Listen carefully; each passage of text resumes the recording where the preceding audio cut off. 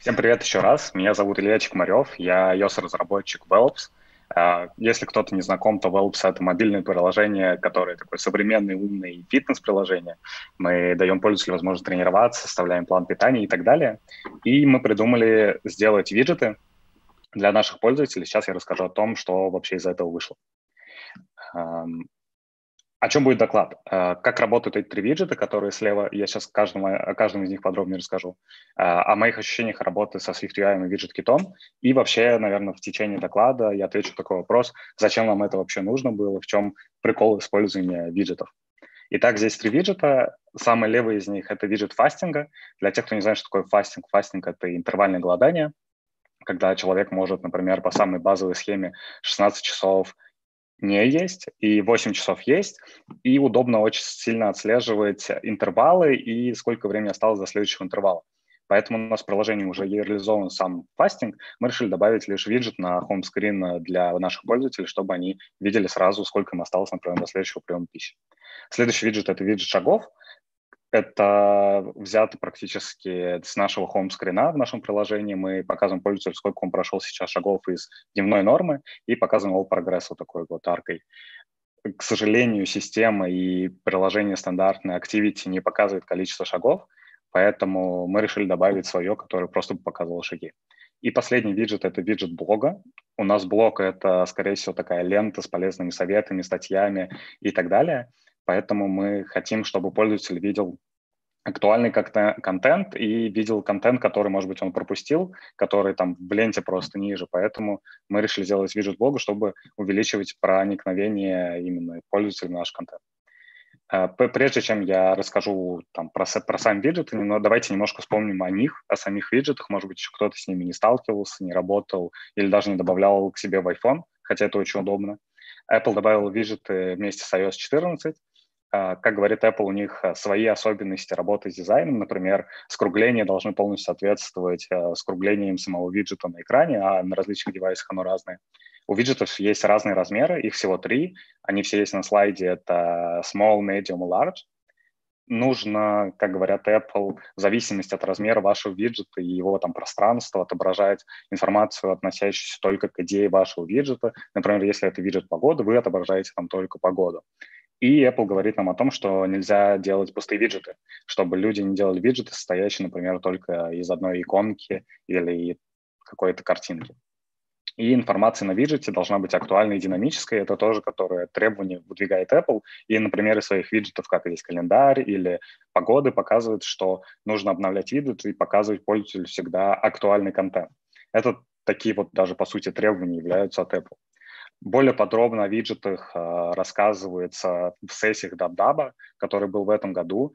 Здесь указаны все шесть сессий о виджетах, которые были. Я очень сильно советую посмотреть вот этого молодого человека справа. Его зовут Изи, и он ведет три сессии, которые Widgets Code Along, все три части, потому что это новый формат для DubDub и э, они там показывали больше в формате воркшопа. Наверное, самые все нюансы проработаны именно в этих сессиях, так что если вы хотите научиться работать с виджетами, советую очень сильно посмотреть эти видео. Прежде чем, опять-таки, перейти дальше, я расскажу о большом таком нюансе, о самой core-логике работы в виджетах, об обновлениях виджетах с помощью таймлайнов. Apple достаточно подробно попыталась это сама рассказать, но мне кажется, это сложно, поэтому давайте я напомню вам. Что такое таймлайн? Таймлайн, по сути, это временной такой отрезок, в котором мы добавляем тайм-энтри. Что такое тайм-энтри? Тайм-энтри — это дата и время, в которое будет обновлен ваш виджет, конкретные даты и время. И контент, который вы уже сами добавляете, чтобы показать его как раз-таки пользователю. Например, ту же самую погоду на текущий час. Сам таймлайн как раз-таки отвечает за обновление виджетов, и таймлайн сам тоже можно обновлять, то ли перезаписывать в него тайм-энтри. Для этого Apple сделал механизм Timeline Reload Policy, и сейчас я конкретнее поговорю о его видах, потому что именно в этом заключается основная работа с виджетами. И после того, как срабатывает Reload Policy, вызывается функция getTimeline, куда как раз-таки вы, как разработчик, подсовываете э, новые entry, новый таймлайн. И начну я с первого Reload Policy, о котором хочется рассказать. Он, наверное, самый простой. Это Reload Policy Never – когда вы, например, задаете одну entry, указываете таймлайн uh, reload policy never, и все, ваш таймлайн больше не обновится до ну, до того момента, пока, например, вы там в приложении где-то не укажете, что это нужно делать специально. То есть виджет сохранит то последнее состояние, на котором он был. Это, например, удобно, если э, какая там Apple показывает в примерах, если вдруг вы торгуете акциями, и выходные биржи не работают, поэтому нужно одно и то же состояние оставить, например, выходного дня, и оно просто будет до следующего обновления. Следующий timeline reload policy – это at Если мы представим вот наш таймлайн, и фиолетовые на слайде точки – это time entry, то после самого последнего time entry будет произведено обновление таймлайна. И это тоже удобно в специальных ситуациях, когда, например, вам нужно показать несколько событий. После того, как эти события закончатся, у вас может что-то поменяться в приложении. Вы запросите новые данные, и после этого обновите таймлайн и покажете новые time entry. И последний Reload Policy, наверное, самый популярный, который я видел в примерах и который сам использовал, это автор. Это просто мы указываем конкретное время обновления таймлайна, несмотря на то, что у нас есть uh, уже там какие-то энтри. Например, здесь на слайде ровно через два часа обновится таймлайн, соответственно, можем туда добавить новые энтри. И благодаря вот этим вот uh, reload policy мы можем конкретно работать uh, с виджетами, подсовывать актуальные данные и так далее. Э, теперь, если вы вдруг будете читать после этого доклада официальную документацию ПЛА, то картинка справа не будет вызывать у вас страх, как у меня в первый раз, и, я думаю, станет чуть-чуть более все, все понятнее на ней. Еще, чтобы обновлять таймлайны, Apple в основное приложение, то есть ваше корневое приложение, добавила такую вещь, как Center, и вызов, у него можно вызвать функцию Center Shared Reload All Timelines, и ваши виджеты все обновятся и покажут актуальное состояние, запросят вот эту функцию Get Timeline, это очень удобно, и, наверное, для Reload Policy Never это единственный способ потом обновить виджет. Также при обновлении виджетов у них есть некоторые особенности на главном экране. Например, если вы добавили ваш виджет на первую страницу, ту, которую вообще никто не использует и никогда вы не открывали, и система поймет, что и правда пользователь в нее заходит раз в сутки, то обновляться она будет немножко медленнее, немножко меньше на это ресурсов выделяться. Apple вообще, в принципе, оптимизировал такие вот ресурсные истории в работе с виджетом. Я тоже в течение доклада об этом буду рассказывать подробно. И чтобы банально создать виджет, и чтобы вы были в курсе, это виджет extension, и ведет он себя в основном как обычные экстеншены, как notification extension, то, с чем вы уже работали. Давайте перейдем непосредственно к виджетам. Э, начну я с виджета шагов. Э, в каждом виджете я буду стараться рассказать чуть-чуть про дизайн этого виджета, потому что есть некоторые особенности про работу с таймлайном этого виджета и, в принципе, про особенности работы, когда я делаю каждый из виджетов. Э, первый виджет очень простой в плане дизайна, и он состоит лишь из градиента, текстового поля и вот этой арки с прогрессом, которая на, для примера, например, заполнена. Сам градиент — это обычный лайнер-градиент. Спасибо Apple за то, что SwiftUI это делается там буквально в 6 строчек, и не надо придумывать обертки, как раньше был в UIKit.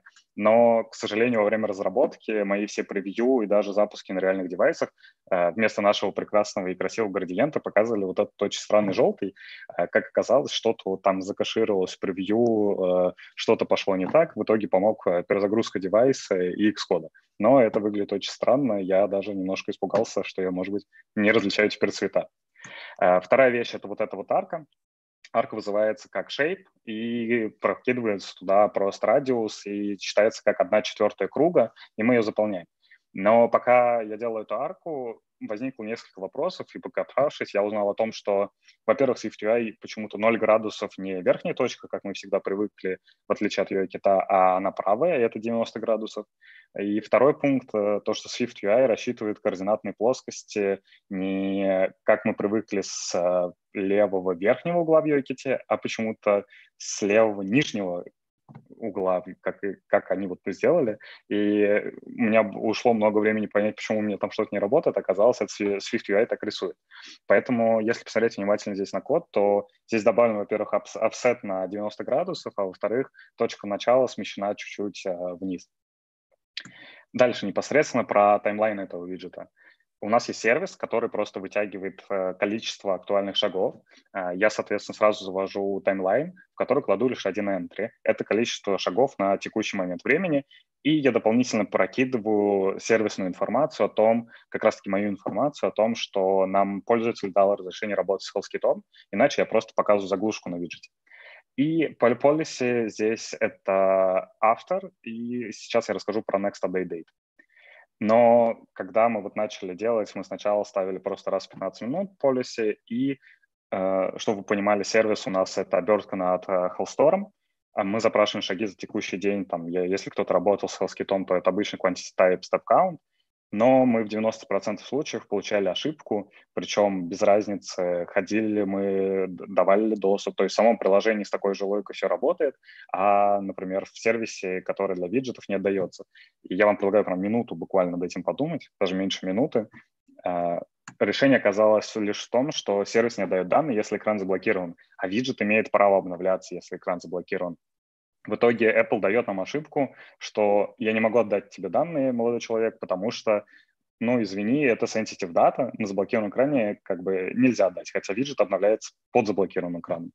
Э, в итоге пришлось добавить такую переменную из loading succeed, когда мы высчитываем, если мы получили правильные данные и все отработало хорошо, мы обновляемся раз в 15 минут, тем самым показывая актуальные шаги. А если это что-то пошло не так, мы обновляемся раз в 5 минут. И 5 минут — это минимальное время обновления, которое можно да, запросить у системы на вот обновление таймлайн entry. Э, небольшая особенность тоже с, с работой вообще с виджетами. Э, у виджетов очень просто делаются диплинки. Это делается в одну строчку, и диплинк откроется э, в методе appDelegate, если вы работаете с OpenYOL. Вот. Дальше, опять-таки, удобно на нашем случае с нашими виджетами всеми оказалось обновлять виджеты, как только application did become active чтобы всегда поддерживать актуальное состояние. Возможно, в некоторых случаях в других виджетах это будет не так нужно, но для наших виджетов это казалось очень удобно. Перейдем ко второму виджету. Это виджет фастинга, и он состоит из нескольких частей. Это как бы две таких арки. Одна показывает прогресс голодания, другая показывает прогресс времени, сколько можно еще питаться. Поэтому здесь опять-таки градиент я про него не буду рассказывать. Это вот такой круг вот с этими двумя частями, с градиентом в каждой частей и просто банально текст. Поэтому, опять-таки, здесь используются великолепные арки, и это очень удобно. А, но как добавить градиент, и Apple в SwiftUI сделал удобную штуку, как Angle градиент, который очень красиво как раз распределяется по кругу, и все это выглядит нормально. Но когда я начал это делать, я использовал только path сначала, поэтому сейчас расскажу небольшое отличие от paths and shapes. Uh, на самом деле path — это очень похоже на CG path, которые вы все знаете с UI кита, если вы работали с графикой. И это просто банальный набор инструкций, куда подвинуть точку и так далее. И это никак не кастомизируется, как оказалось. Поэтому есть в вещь такая, как shape. Это протокол, который просит лишь один метод, это path in rect, и в нее вы как раз прокидываете нужный path. Он автоматически сайзит после того, как высчитывает вот этот размер, но он дает больше контроля.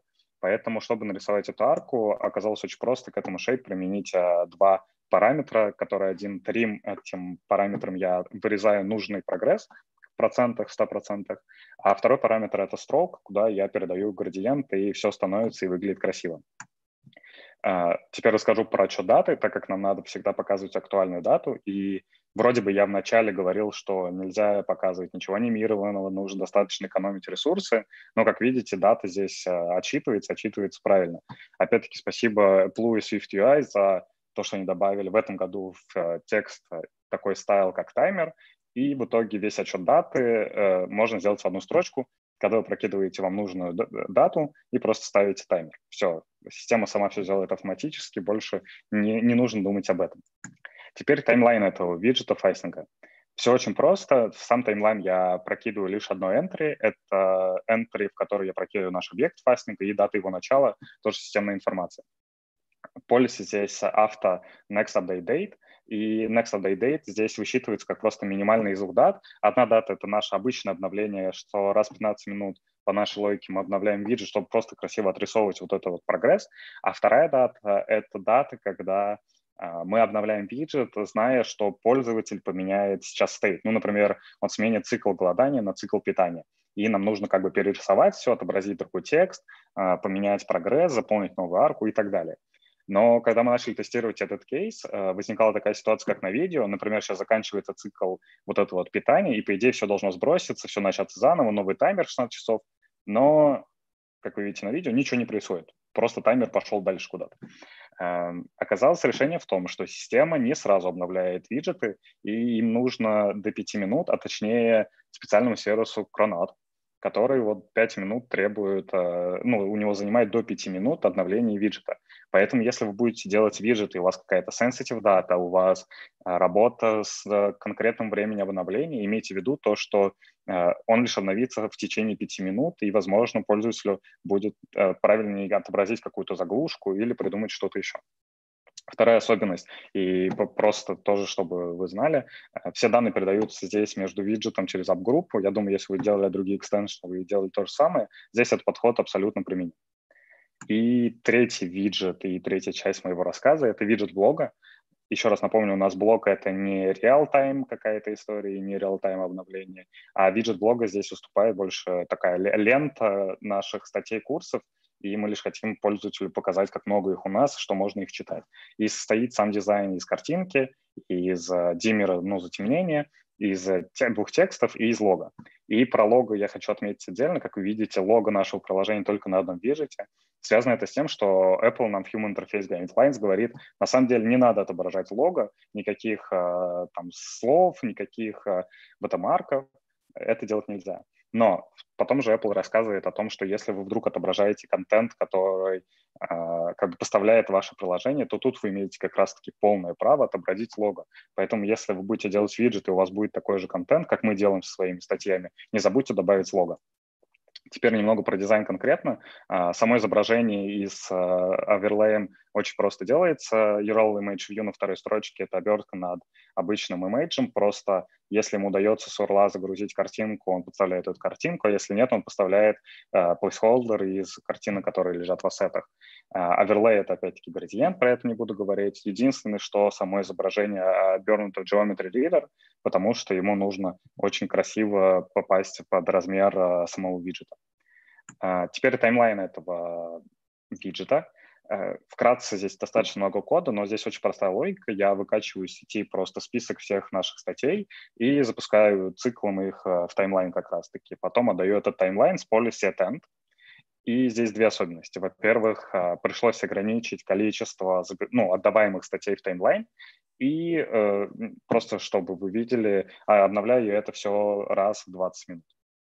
То есть я каждому айтему добавляю 20 минут, и от текущей даты отчитываю это. Соответственно, в течение дня пользователя несколько раз обновляется виджет, и каждые 20 минут он видит какую-то новую статью, что очень оказалось удобно. Э, сам сервис, который все это делает, это обычный URL request, ничего особенного, просто он написан с э, паблишами и в стиле Swift UI. И возвращаясь к теме обновления, и я сказал, что пришлось ограничить до 15 раз, это было связано с тем, что по какой-то причине, если вдруг я решил добавлять именно все наши статьи, их там больше 50, например, то в какой-то момент система переставляла обновлять виджет, и в какой-то момент пришлось искать, в чем проблема. Оказалось, что у каждого приложения есть такой бюджет, а, состоящий из 75 условных единиц. Это все, что я нашел, там ребята, которые разбирались. А, опять-таки, они же рассказали о том, что каждое обновление отнимает одну вот эту единицу, но система периодически добавляет 0,1, 0,2 иногда. Соответственно, виджет можно обновлять в среднем 8 из 90 раз за день, но почему-то, если добавлять в таймлайн очень много entry, виджет отказывается это делать. Возможно, сама система как-то регулирует расход ресурсов. За это, если что отвечает сервис даст, может быть, кто-то реверс инженерит или найдет, как конкретно работает сервер, чтобы ну, прям полностью понимать эту логику. И вторая особенность виджета, с которой я столкнулся и которая попалась на глаза, виджет имеет ограничение памяти в 30 мегабайт. Если вы работаете с большим объемом данных, или, например, вы работаете с чем-то таким ресурсным, то это придется менеджить. Но я пока занимался разработкой и просто тестировал различные варианты, случайно добавил картинку, которая у нас есть в проекте, весит ровно 30 мегабайт. И в какой-то момент у меня начался крашиться виджет. А, для меня было открытием, конечно, что у нас есть такие картинки в проекте, но а, будьте внимательны тоже на этом этапе. Подводя итог, а, что хочется сказать. Виджеты как фича и как фича вашего, может быть, приложения, это очень удобно. Я сам пользуюсь своими же виджетами, я пользуюсь виджетами других разработчиков, мне кажется, это очень интересное нововведение. Если вы пользуетесь хотя бы одним виджетом, поставьте плюсик в чатик, давайте обменяемся какими-нибудь полезными виджетами, вдруг вы что-то новенькое себе добавите, э, или вдруг, наоборот, вы противник, тогда напишите тоже, интересно почитать. А, что еще? Касаемо SwiftUI. SwiftUI э, позволяет делать очень быстро простые вещи. И э, на примере виджетов это казалось максимально удобно, что буквально три текстовых поля, что-то там на фоне накидывалось после какого-то минимального опыта уже буквально за час-два. И интеграция в текущее приложение проходит бесшовно. Так было на нашем опыте. Мы э, поддерживаем и 14, и 11 ось, но каких-то либо проблем с тем, чтобы интегрировать данные, как-то связать а, основное приложение самим виджетом я не испытал. Возможно, у вас будет другой кейс, но я думаю, что в большинстве случаев это и правда должно происходить бесшовно. А, ссылки, которые используюсь в докладе э, про AdaptApp, и ссылки, которые очень помогли мне во время разработки, находятся вот в этом QR-коде. Можете его скопировать. И, наверное, сейчас время для вопросов, но есть небольшой по скриптам. Э, мы в Elps ищем сейчас iOS-разработчика, Поэтому, если вам интересно создавать такие же вещи, а, разбираться в новых фичах Apple, то мы буду, будем рады с вами пообщаться. На QR-коде это вакансия сама, или можете просто написать а, Никите вот на этот Telegram, и там дальше уже обсудить с ним детали. Спасибо большое. Спасибо. Сейчас я тоже у тебя покажусь. Ребят, пишите вопросы, пожалуйста, в чатик. А, да, я верну презентацию. Вот. Презентация супер, очень интересно, очень полезно. А, про виджеты раньше у нас не рассказывали. Давай, может быть, расскажем про аналитику вкратце. Да, я забыл упомянуть, потому что мы уже там в конце доделали аналитику. А, мы решили измерить вообще, насколько пользователи хотят пользоваться этим виджетом, насколько им вообще это интересно. А, аналитика сделана максимально просто, но мне кажется, чем проще, тем лучше. А, мы храним в тех же самых юзер-дефаултах ап-группы просто состояние, открывал ли пользователь хоть раз один виджет, то есть запрашивал ли он таймлайн этого виджета, или запрашивал ли он превью этого виджета, когда вы выбираете виджет, у вас есть такие превью превьюхи виджетов. И после того, как у нас срабатывает этот флаг, мы это пишем user defaults, и на следующем старте приложения мы отправляем это в аналитику.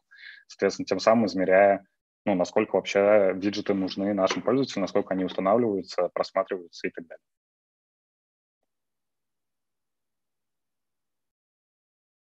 Больше, кажется, вопросов не появилось. А, тогда я, наверное, тебя отпущу. Ребят, пожалуйста, присылайте хлопки в чатик.